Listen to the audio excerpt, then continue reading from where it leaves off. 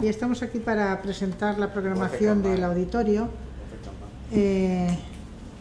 que, bueno, pues como vais a ver inmediatamente, es una programación fantástica, muy variada y que para todos los gustos, como siempre, eh, se hace aquí en este auditorio. Pero yo tengo que decir que este año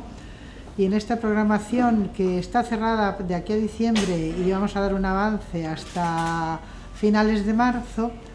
pero que luego habrá más cosas, pues se ha hecho un gran esfuerzo para, bueno, para que la música esté muy presente, para eh, homenajear a Verdi y a Wagner, que es su bicentenario de ambos, y entonces eh, tenemos, eh, bueno, pues ópera, tenemos música sinfónica, tenemos teatro,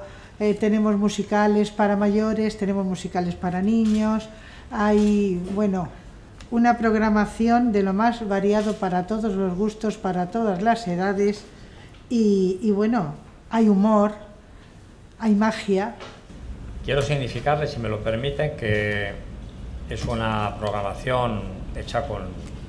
profesionalidad y con mucho cariño y atendiendo un poco a la experiencia que ya tenemos del público de Cartagena. Es decir, sabemos lo que nos ha ido muy bien y lo que nos ha ido muy mal. Y por esa misma razón incidimos en aquellos géneros que mm, sabemos gustan. Programar de un año para otro es difícil, cada vez está siendo más difícil en general, porque el mantenimiento de las compañías nacionales e internacionales pues resulta también dificultoso su permanencia en el tiempo y, entonces tenemos que viajar, vienen los representantes, en fin, es una, labor un poco de encaje de bolillos que está hecho con, mucho cariño y, que espero les resulte primero en el éxito artístico, que es lo que pretendemos. Esté contento eh, el espectador del Batel, que siga fidelizando con su presencia la tarea que hacemos y luego también valorar, valorar aparte de las facilidades que recibimos por parte vuestra del ayuntamiento, valorar la,